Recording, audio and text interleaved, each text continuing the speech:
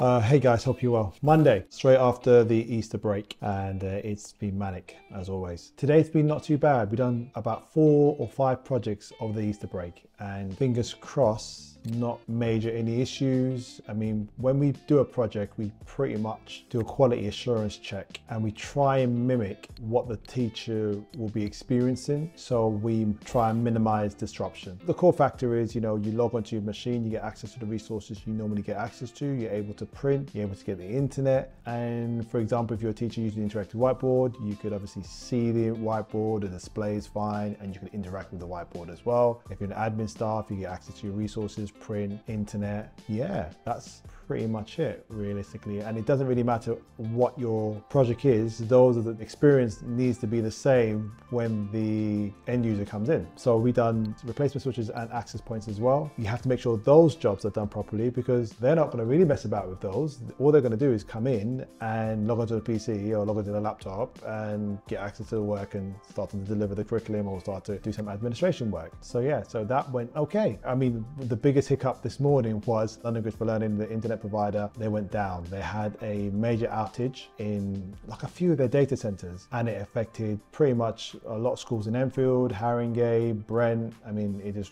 a lot of schools in London basically. The downtime wasn't too bad. It was about an hour. But yeah, if you could have picked the worst moment to do it, that would have been it. Everyone's coming back, first day back and bang. And then you have a lot of people who are anxious and they are, you know, want to prepare before to make sure the lesson's on point and etc and then bang.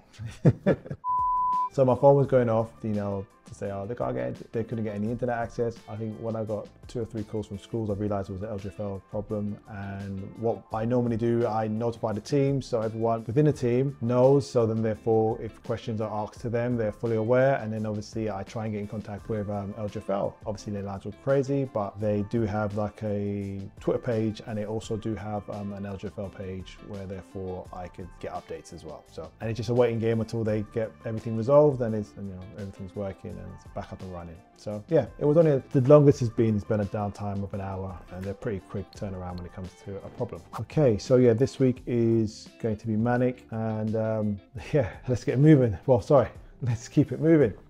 Hey, another day, another school. Very interesting, this one. There was an installation last week in the school where they were installing the new phone system, voice over IP system. The problem was that the phones which were using PoE, Power over Ethernet, where they're plugged into a specific switch, the switch wasn't picking up, wasn't on the same network as the rest of the school. It was on a separate network, like an isolated network. So the IP addresses were different, so it wasn't talking to each other. The company which done the phone system or doing their site survey didn't test the ports to check. They just assumed that the switches were all doing the same thing. Maybe they thought it was a flat network and what a flat network basically means is that there's no configurations and the switches are in the same IP range. Yeah, I'll quickly show you two switches. And also this switch is not a power of ethernet switch, it's just a standard gigabyte switch. This one here is a power over ethernet switch. This one was configured to the Wi-Fi system that they have in the school. So they isolated the Wi-Fi systems. So when users log on, they're unable to get access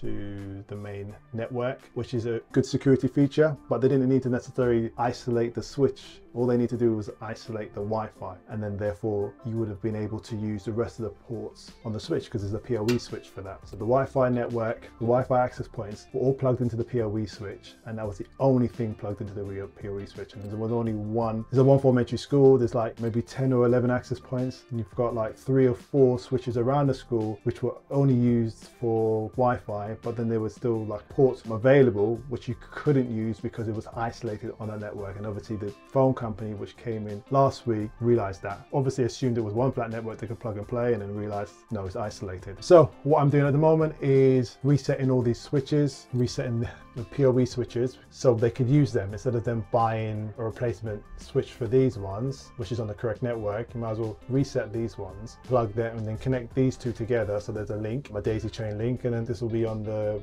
IP range which it should the same IP range of the phone system. But the only downside to that is that I would have to reset the access points because they were isolated originally. And you're probably thinking, why do I have to reset the access points again because they're already here? Well, no, the access points were managed by the previous MSP provider. They were obviously using Ubiquiti, which is great, and Ubiquiti have a cloud-based system as well, so a cloud-based solution where you can manage the devices cloud. And they're kind of pushing for that anyway. They were not going to pass over the credentials to us. What they said, well, to Green Technologies, who's taken over the school. So what they suggested was reset them from scratch. Now we hadn't had time to do that originally, but now it's been forced upon us to do so. This is it. I made the school purchase a Ubiquiti Cloud Key. This is generation two. Unboxing.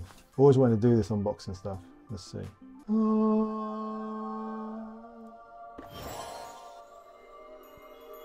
Paperwork, U for ubiquity or Unify or Universe. Oh. And this is the device. Now to my knowledge, I don't think they're going to be doing these devices anymore. Plastic on it, I'm going to do the plastic. Cool, so what I'm hoping for is that, which I know it's not gonna work, but I would love it to work, is that I don't need to go to all, every single access point and reset it because that's time consuming and I don't have much time, but knowing my luck, it's the case. Okay, cool, here you go. And it's got like a little GUI interface. You've got Ethernet port, two USB-Cs, SD card just above the Ethernet port, and you've got a power supply. Power over Ethernet, oh, it's.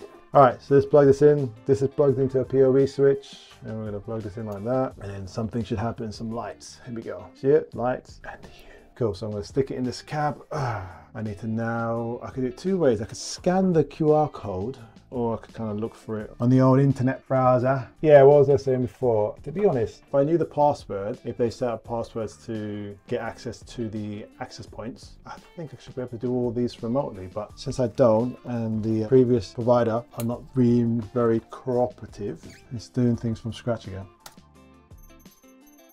So we're going to basically, okay, cool. We're going to probably do it from oh hello good morning. Good morning, how are you? I'm all right, thank you. That's good, that's good. Okay, sorry about that. A lot of interruptions.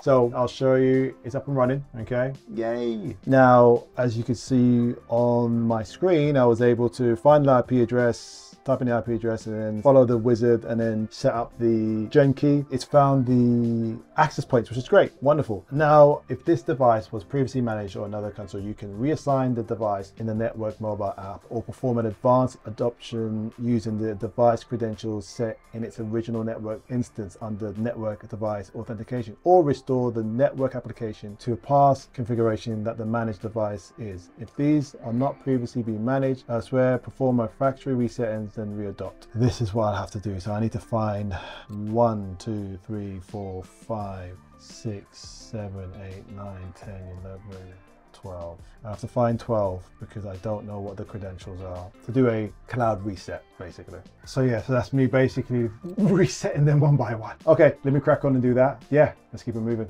Should this turn to the right? All right, so we're just resetting it.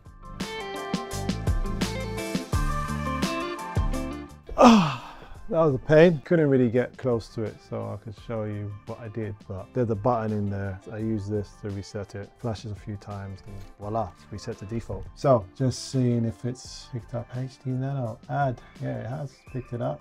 So it's going to adopt somewhere. Okay, there's only 11, so okay, so it's adopting. Taking long. The network, the default, the third party gateway router see if I can create another one. That's not giving me the option, let's create that. And then let's come out of that, leave that. I think we'll be here all day.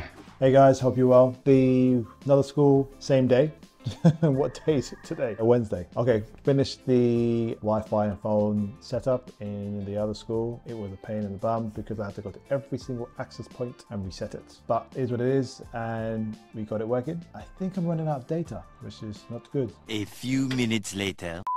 And we're back. Just had to clear up, or sorry, I had to delete some uh, footage on the camera. Anyway, this machine is an old laptop. Member of staff wants to use it. So it's Windows 10 and it's connected to the domain. And I don't know what the password is, um, the local password for this machine, but it's connected to the domain. What the domain is, is it's a network environment on Active Directory. Yeah, if you don't know what Active Directory is, check my previous videos. I explained to people what Active Directory is. It's basically an environment where you hold users and computers and manage the network infrastructure within schools or any organization or any network you want to do. So what way do you go about doing this? Resetting the password basically. So how do I do that? I use a software called HBCD oh, that's the abbreviation, but it's called Heron Boot. Heron Boot, it's a free open source software. There's many softwares, hackable softwares, but this is something I use. ISO, put it on my bootable hard drive, and I boot into that operating system. So I look for the user account and reset it or set a new password for myself. So I'll just quickly show you what I do.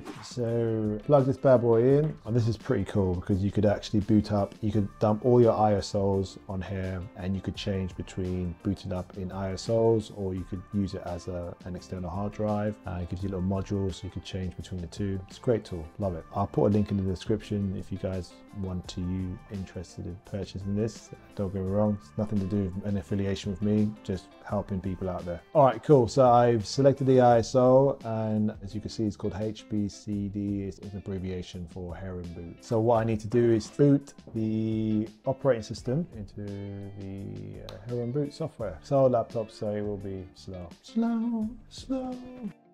HP F is F9 to boot into bootable options. So I'm basically to navigate to USB CD-ROM, which is in this device below. Here we go. Press enter and press enter again. Now it should be booting into the Heron Boot operating system. Taking a little while. What we do. All right, this is the software. It's got tons of tons of utilities, tons of tons of tools. Download it, have a play. It's really great. But what I'm using this for is to basically hack the password. All programs, security, passwords, and we're gonna go into, which one is it? Network.